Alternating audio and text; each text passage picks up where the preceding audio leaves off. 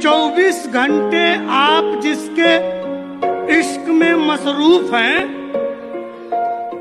बस वो केवल आपकी है, इसका कोई प्रूफ है?